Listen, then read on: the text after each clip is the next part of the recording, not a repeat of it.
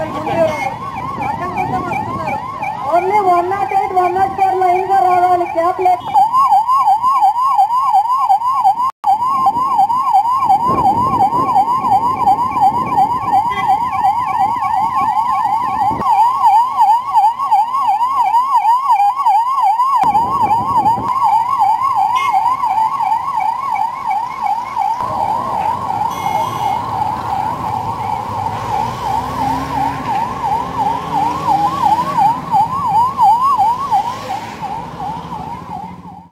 భరోసా అని కూడా ఈ సందర్భంగా తెలియజేసుకుంటున్నాను.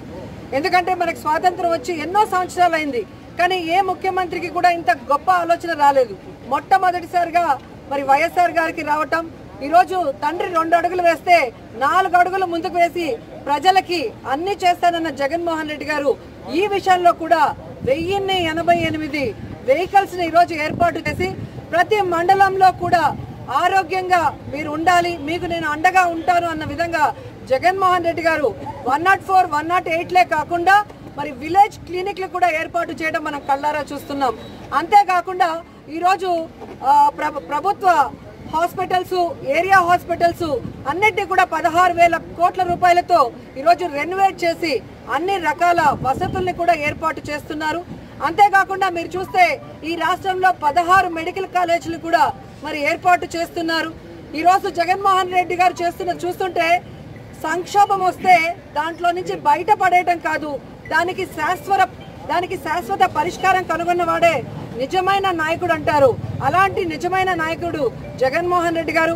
ఆయన పరి ప్రభుత్వంలో ఆయన పరిపాలనలో మేమందరం కూడా ఎమ్మెల్యేలుగా వర్క్ చేయడం మీరంతా కుటుంబ సభ్యులుగా ఉండటం గర్వంగా భావిస్తున్నామని కూడా ఈ సందర్భంగా ఎందుకంటే కరోనా మహమ్మారి ఈరోజు ప్రపంచాన్ని గడగడలాడిస్తుంటే ఆంధ్రప్రదేశ్లో జగన్మోహన్ రెడ్డి గారు చాలా ముందు చూపుతో ఎన్ని రకాలుగా ఈ కరోనాని కట్టడి చేయడానికి ఆయన తీసుకుంటున్న నిర్ణయాలే మనకి కళ్ళకి స్పష్టంగా కనిపిస్తున్నాయి.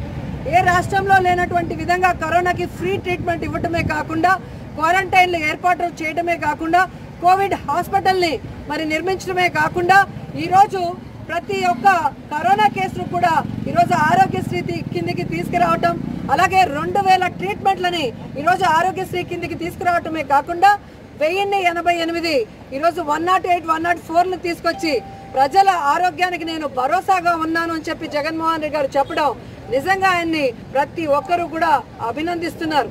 ఈరోజు జగన్మోహన్ రెడ్డి గారు ఇంత గొప్ప కార్యక్రమాలు చేసి ప్రజల గుండెల్లో నిలిచిపోతుంటే చంద్రబాబు నాయుడు గారు ఆయన పార్టీ తినింది అరక్క కడుపు మంటతో ఏ విధంగా one not eight one not ఫోర్లలో మరి అవినీతి జరిగింది వందల కోట్లలో అని చెప్తున్నారు.